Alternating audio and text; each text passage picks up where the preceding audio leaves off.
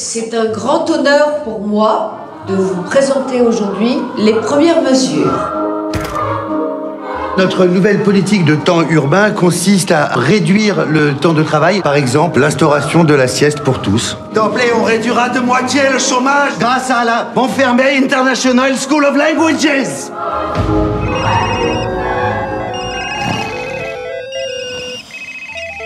Le 8 mars sera la journée du kilt. Monsieur Brackny, la philosophie de notre nouvelle équipe est précisément de prendre du temps. Avec la sieste, il faut doubler le nombre d'enseignants à Montfermeil.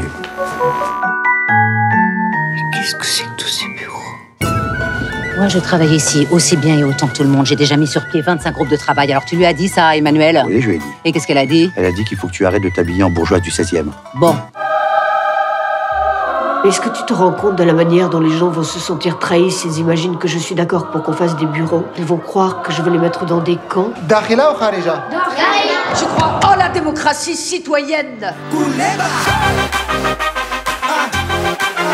Tu me fais du bien.